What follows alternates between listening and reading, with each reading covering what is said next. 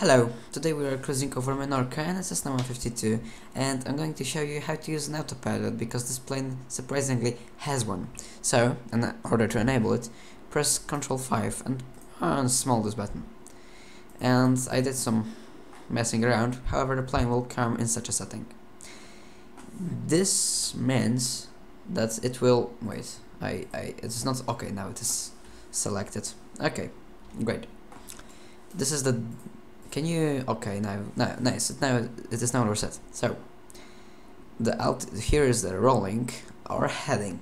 It will depend on whenever, if you press roll, the plane will prevent any rolls from happening and it will just keep the heading that you are currently in, that you have enabled autopilot in, and heading will change the heading to whatever heading you'll set.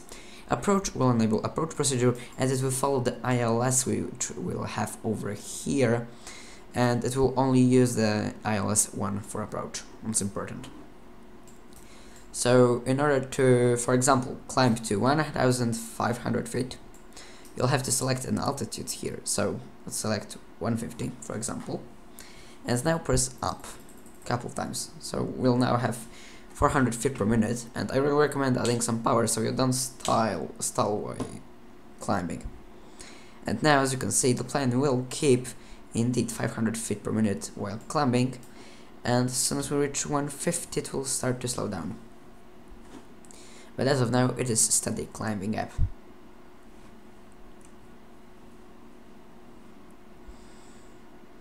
So, let's say ATC give you information to turn right headings for example 0 1 to 0 to turn the heading on the autopilot you'll have to move this yellow line over here.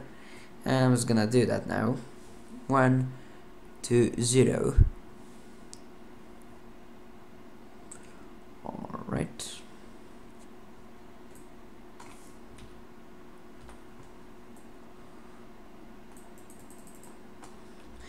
and as you can see we are now slowing down on our climb and also we are reaching our autopilot altitude.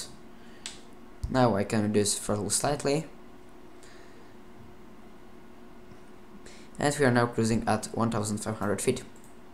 So we have this heading set and now just press need to press heading. And the plane will bank itself into the heading